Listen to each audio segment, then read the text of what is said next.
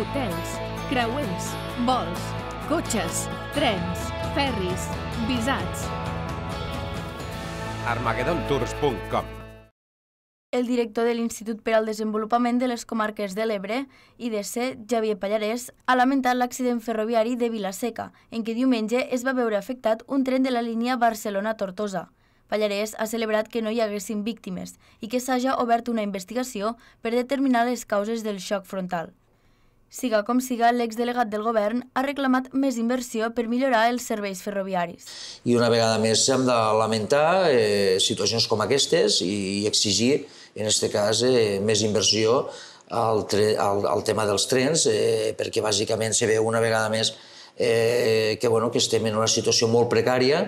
i això fa que pugues trobar en fets com el que avui estem parlant i analitzant, eh, que insistim, als anys en què vivim, eh, un xoc de trens eh, frontal eh, és, és perquè hi ha hagut alguna errada, perquè el normal és que això no, no passi, no? per tant haurem d'esperar a veure què, eh, què conclouen les investigacions que s'estan portant a terme, uh -huh. i això sí, bé, malauradament ens tenim que alegrar de que no hi ha hagut cap mort, però, però sí que hi ha persones eh, eh, que estan greus, a més, Pallarès ha valorat positivament l'anunci del govern de l'Estat per la construcció d'un tercer carril a la P7, però el director de l'IDC ha assenyalat que el territori també necessita la construcció del tram pendent de la 7, l'autovia que hauria de desdoblar la Nacional 340 per l'interior del Baix Ebre i el Montsià. En aquest sentit, ha demanat unitat d'acció per exigir al govern de l'Estat la concreció d'aquestes obres. I necessitaríem esta, esta, esta autovia eh, en un traçat que està consensuat i si aquest traçat no és el correcte doncs ja ens tornem a discutir, però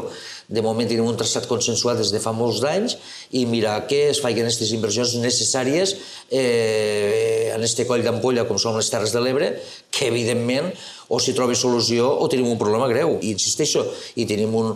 un traçat per l'interior, que també ens aniria molt bé per als municipis d'Ulldecona, la Sènia, uh -huh. totes aquestes poblacions que tenen molt de, molt de turisme, però també al mateix temps molta inversió eh, sobre el sector del moble i altres empreses que puguen vindre i derivar, eh, i és el que hem de lluitar. D'altra banda, Pallarès ha explicat que els preocupa que el poc cabal de l'Ebre puga afectar la navegació fluvial durant els mesos d'estiu en llocs com Tortosa. Finalment, l'exdelegat ha deixat en suspens l'acord amb Esquerra per la reforma del Consorci de Polítiques Ambientals de les Terres de l'Ebre.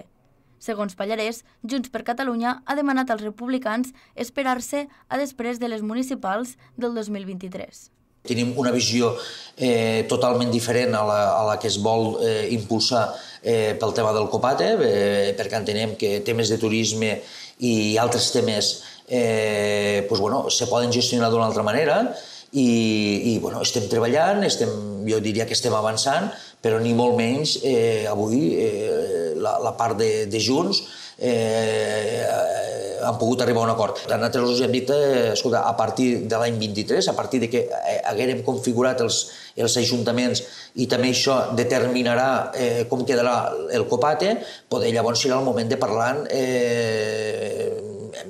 en més transparència i en gent eh, que, que segurament ara no estan ni en responsabilitats polítiques i segurament pues, en, en un any, any i pico, eh, seran a millor alcaldes dels seus municipis i podran eh, dir la seva també en el tema del copate. Per tant, jo crec que ara parlar del tema del copate eh, eh, no toca, no toca bàsicament perquè eh, jo parlo per la meva formació política, tenim altres mal de caps i altres preocupacions eh, que no pas mirar com quedarà el copate. Jo crec que el copate eh, té uns altres problemes també, que es gestiona eh, bé i sobretot de la manera més econòmica possible el tema de la brossa i d'altres eh, activitats que estan fent eh, el Copate